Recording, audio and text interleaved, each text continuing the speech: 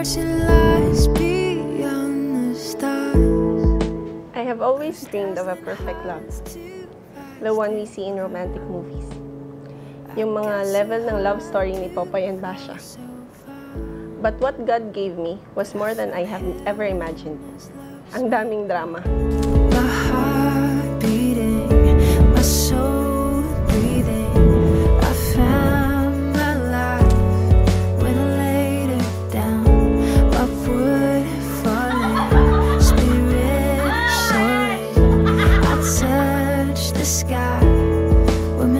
Knees hit the ground.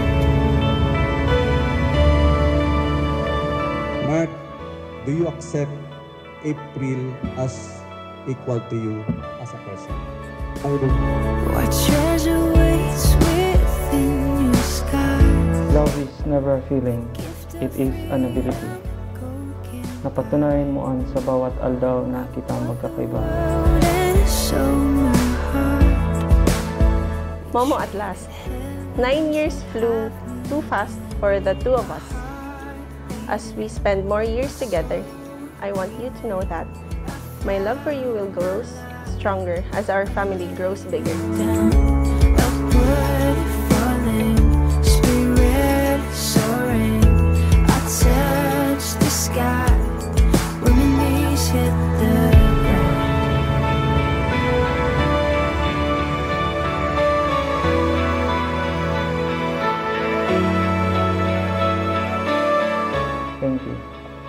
Kasi di pa man kita talaga mag-agum. Pero gabos na atensyon mo. Permi lang sa ko at face feet.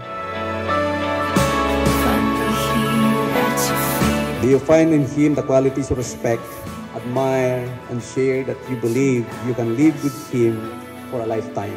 Yes, I do.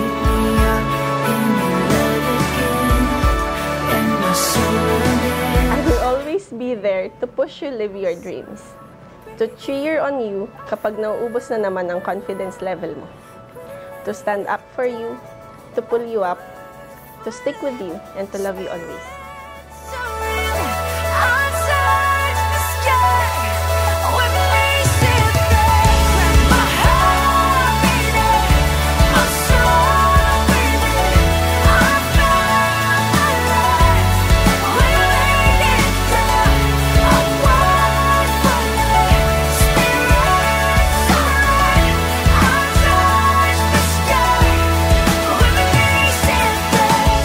Submit to your husband in everything. In all things. Hindi lang yung ilan na, basta dito lang ako nagpapasakot. No. The Bible commands us to submit to her husband in everything.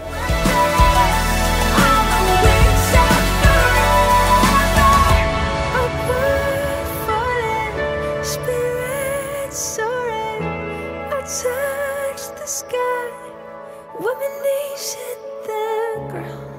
Ngunyan, i-remind ko ulit ang promise ko sa imo.